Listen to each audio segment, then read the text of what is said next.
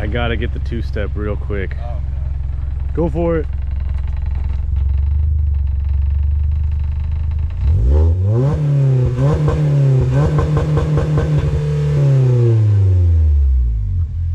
The fact that it shakes, it's like Dude, the whole car moved. it feels like I'm like short on like motor mounts or something. Oh.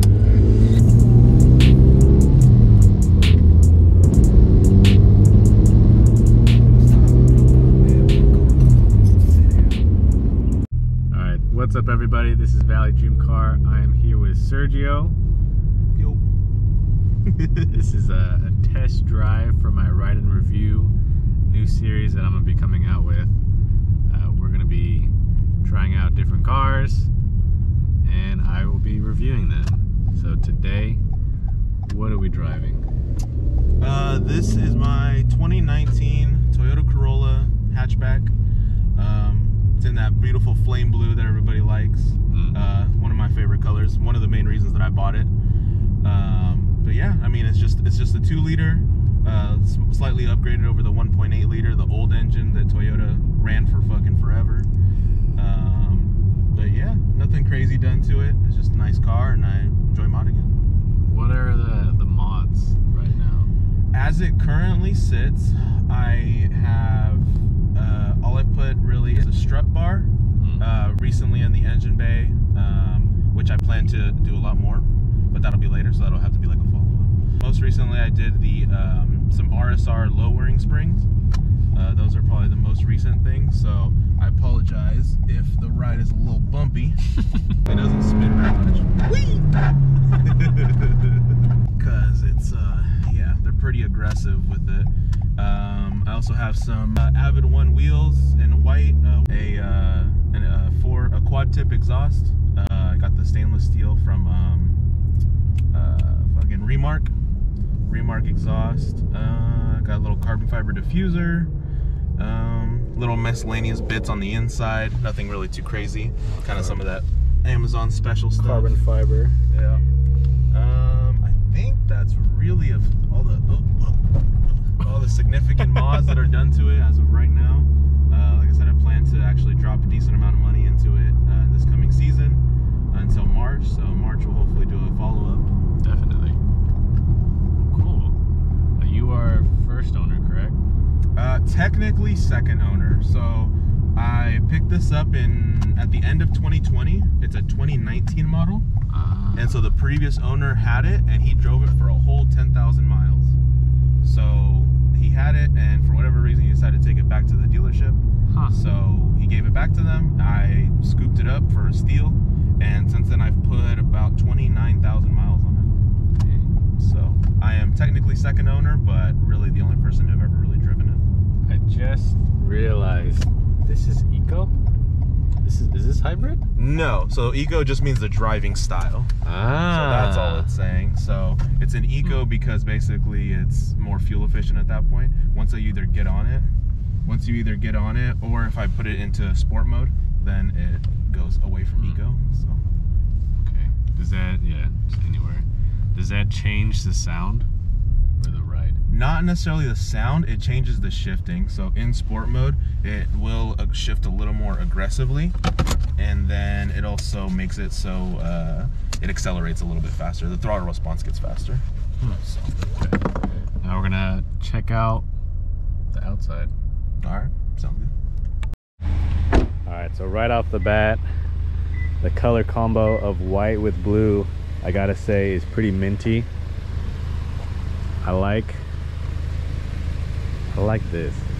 Oh yeah, it is one other technically mod that I have done. It was uh, an overlay kit that they offered uh, a company called Hypnotic Designs. And so that front one you had to cut out yourself, but on the rear one there's actually a whole plastic, um, what is it, uh, like epoxy, but not epoxy, but it's a whole emblem that's actually a solid mount that you uh, 3M onto it. So Oh, damn. yeah. So you got carbon fiber diffuser. Yep, little carbon fiber diffuser. Uh, I- interestingly, that's actually from Amazon. So, yeah, What? It comes with yeah from Amazon. It, you pay the price of carbon fiber, but it's carbon fiber. Uh, the spats came with it too, and then um, I have the Remark exhaust as well. All right, Tell me about your your wheel specs. All right, so it's a square setup. Uh, they are all the way around. It's an 18 by, I believe it's a nine, 18 by nine. Uh, tires are 235, 235 30, I believe. They're a little bit big. Um, oh, and the wheels are 18 inch, obviously. but um, the I wanted to go to 18 inch for sure because it filled up the wheel gap very well. Um, but yeah, I went a little aggressive with the tire because I wanted more of a meaty stance and it rubs ever so slightly. But so as soon as I can go down on a smaller size tire, it'll be perfect. But So you thinking like 235, 35s? I think so. Well, oh yeah, I said it wrong, didn't I? Oh yeah. So the 235 45s currently. But you want But I think I want to Ah, go 35s. okay. So that smaller sidewall will just make it one stretch a little bit, Yeah. cave in a little bit, and it'll make it perfect. So yeah, right now they're a little aggressive, but I wanted the 18s to fill out the fender well, and I it think it fill, yeah, it fills up pretty well. The stock Wait, looks like you're tucking no- pretty There's good. like no gap. So. What are some outside mods that you're planning on doing? So probably won't get to it this year, but probably hopefully next year of 2025. I hope to do a whole front end conversion. So they uh, the a lot of common uh, mods for it are that people do the sedan bumpers on Hmm. these hatchbacks, and so what they'll do is they'll take like literally it's usually out of a sedan SE, so they actually come with like fog lights, which Dope. these ones don't come with one, um, or you have to have the XSE. Mine's just the SE, and so their fog lights though are like LED like strips on the bottom. They're su- they look super cool, and their Huh. bumper goes like a straight like it goes like mean grill and it goes straight down rather than this one kind of points back in. There's so the sedan is like super aggressive. I don't think I've ever noticed that. Yeah, so and it looks badass on these cars. Let's uh let's see the the sway bar. So Pop the hood. I know, off the hood.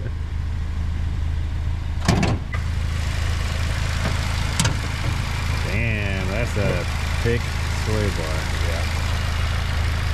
Yeah, somebody, the person who actually sold me the RSR lowering springs also had this for sale. It's a Cusco uh, strut race, and I really liked it.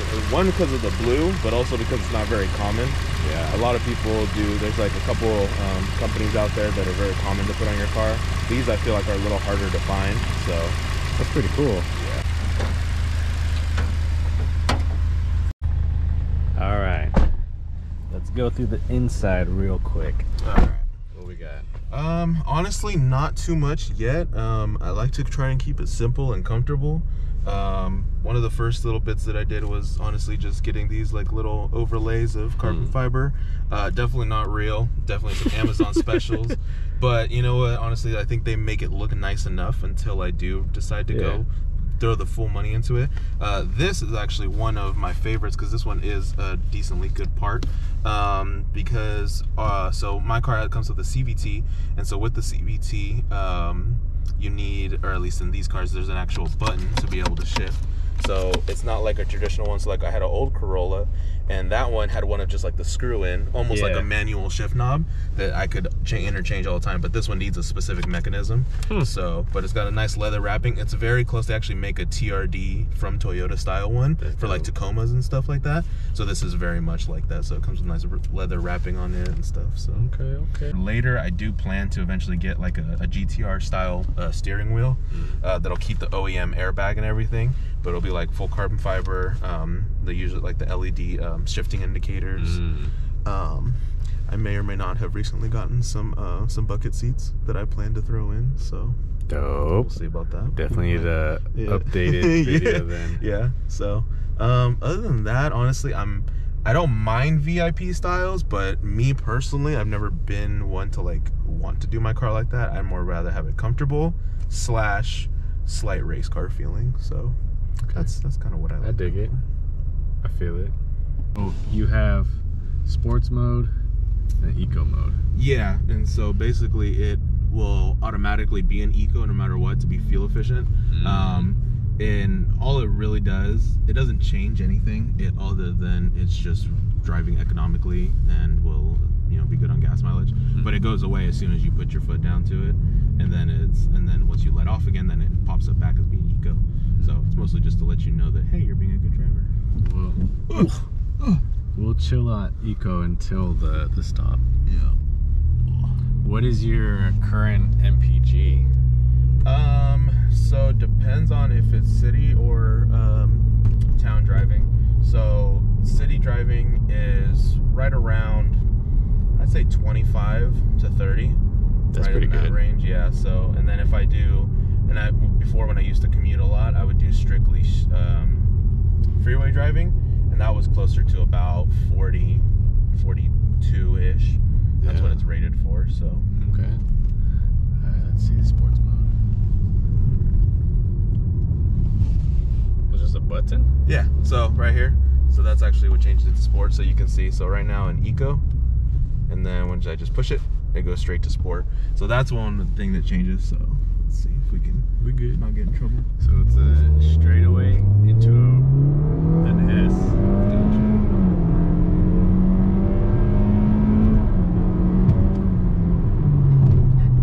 Oh yeah. You can hear the Oh the rubbing. Oh yeah. Just a little bit. Alright, slow back down. It does also. So you asked earlier if it does change the audible. It does a little bit. As far as because it's messing with the RPMs and how fast it shifts, Uh, it let it hangs just a little bit because Huh. it's meant to be more of when you're on it. makes Um, sense. Yeah, but We'll make a right here. what and is this is just a full straightaway until Yosemite. Let's see now. What another thing that I do kind of like is you can actually there's there is traction control you can turn off, and if you hold it, it turns off all the safety features. Oh my gosh. so I really want to.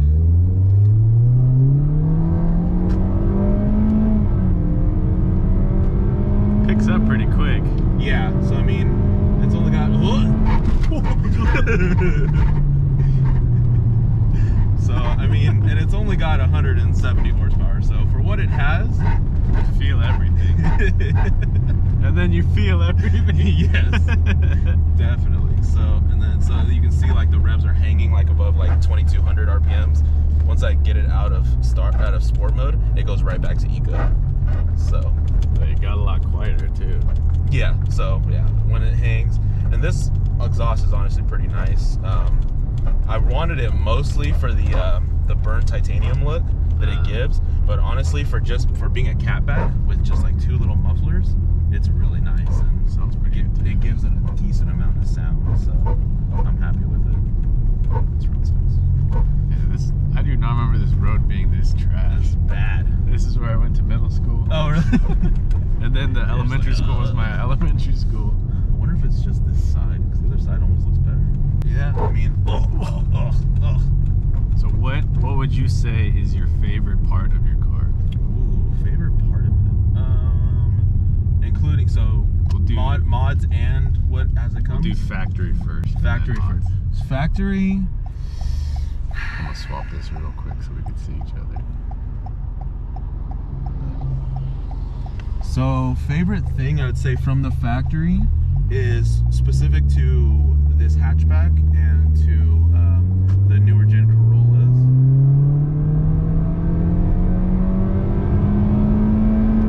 So that's what it's like an eco. It takes way longer to shift. Huh. So it, it's, it's whoop, here, That was all damn. Yeah, no, it takes a while. So, and if I put it in sport, it immediately wants to pick up, and usually has harder shifts as well. Huh. So it's nice in that sense. But yeah, from factory, I would say definitely is actually just the engine itself. Uh, Toyota for a very long time ran a 1.8 liter. So if you have basically a Corolla from pretty much 2000 all the way up to 2019, you you all had the exact same engine. I think it was a 1ZZFE. I think was the engine code. I think- Damn. I think. But um, So yeah, they- almost 20 years yeah, of they they just ran that thing and they're like, yeah, it's all reliable. And I I'm like, mean, if it's not broken, don't fix it. yeah. Yes, sir. What was your first car? My first car was actually a also a Corolla, but it was a 2009. Um, so it was just this little, or actually not little, it was pretty big actually. But it was this 2009 Corolla. Um, it was like the LE, so like basically the base model. It was slow. It had that 1.8, so it was slow as shit. Um, and it took forever. Like you could not get on the freeway. It took absolutely forever to get on the freeway. You're hoping and praying that a semi truck wasn't gonna just push you along. Dude, like that thing was ridiculous. Yeah, that thing was ridiculously slow, not fun, and just it, it was one of my first cars. So technically, it was my first car. I never modded it, and then I crashed it. So then I had to go and buy another car uh, myself, and I was like, you know what? That I like that car enough. You know, it was good, decent, uh, good car. So why don't I just go and get another one? So I went out and I got another 2009 uh, Corolla. The only difference was it was a different color, and it was not. So let's You gotta flip around. yeah. I wanted to see. I wanted to get to the end and see. Do a nice little pull. Not hit this. The rear view camera is pretty nice. Yeah, I will. Say that is another really good, uh, nice feature about the uh, stock cars. That backup camera. That backup camera. Let's get to that nice, nicer area. I think if you do a straight pull right now, we're gonna hit that one bump. We're gonna fly for a little bit. Oh, for sure. The only time I can get these wheels to spin is when it is raining. So I probably won't be able to, but we can try. No, it still grips. It's pretty grippy though. Yeah, so it doesn't spin very much. Whee! oh, ouch. Goodness, but aside from that, I mean, it should be really good. yeah. It definitely is a fun ride. Yeah, I enjoy ripping this thing around. When it's like cold, cold because it's an NA uh, Mm. engine, dude. When it's cold outside, this thing freaking digs. Like it, it's weird the difference. So if it's like 35 outside, the amount of the the amount of torque this thing gets on the low end is way faster. It's Hmm. super interesting because uh, engines like that, the one NA engines love to be revved up hella high. The higher the RPM, more compression, so the more power they put out. And then, but with the colder they are, they just run like crazy. So it comes with this cute little, cute little thing right here. Oh, you got the slapstick? Yep, I got that. So let's see.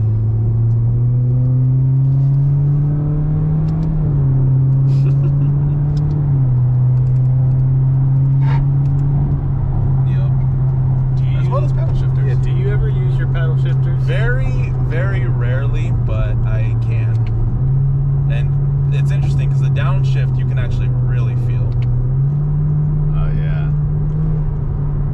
So You gotta get the. the no, I know, no. I honestly, I what I almost did buy too was the um, Veloster N, and one of the biggest turnoffs for me was actually the Kraken burble tune that uh, the Ns come with. What? From the fact I don't mostly because I felt like it was way more gimmicky than it was like actually Really? cool and useful. Oh, And yeah, so let's see. no pops, no nothing. No, unfortunately not. Um, the only thing that it really does is that, so, which uh, you've heard before, is that it does have that like uh, mimicky like two-step almost. So Mm. when it's yeah, so what it does is uh, once you put it in park, it will actually um, almost like bang off the rev limiter. It's I think the limiter set at five thousand. So when you put it in uh, in park, it will do that. So no, but what if I put it if I put it in neutral, I can go all the way. See right there. Ah. So I think it's what is that, forty five hundred? Yeah. so All I, these old ladies in traffic. I know are like, probably they're hell?" like Jesus. what a bunch of racers. damn racers. let's see, let's see. So now I can do full. right Oh, at seven, you can kind of hear. You, uh, you can hear the little. Yeah, but that's about as far as it gets, and you got to do that once it's already moving. Otherwise, it hits the limiter. So Hmm. you got to trick it into thinking you're still driving. But like right So, now, you're Yeah, six. like right now I'm like it's a six. You know, I I do have a lot of plans, unfortunately, that cost a lot of money. But yeah, so I do plan to do like a full air setup. Eventually, eventually a That'd wide dope. body, some three piece wheel. Yeah, so there's a lot that can be done. So as it sits right now, I give it a solid like six out of ten. But I respect that. yeah, I was in the Cool. six range. yeah, a little. I could definitely see where you want to go with this, and Yeah. then Yeah, I'm for it, man. definitely. It's gonna be dope. We'll, we'll have to do an, an upgraded oh yeah, video, part for two. Sure, for sure. This is gonna have like multiple parts, so multiple versions. Oh yeah. All right, well, that is it for our first ride and review. We'll see you guys soon. Make sure you follow him on Instagram. Drop your uh, your IG. Uh, enthusiast dash e210 or sorry underscore e210, and yeah, I hope to. It'll be fun when we do the, the follow up because I plan to build this thing out like crazy. So, Oh yeah, sounds Awesome. good. Cool, cool. All right, y'all.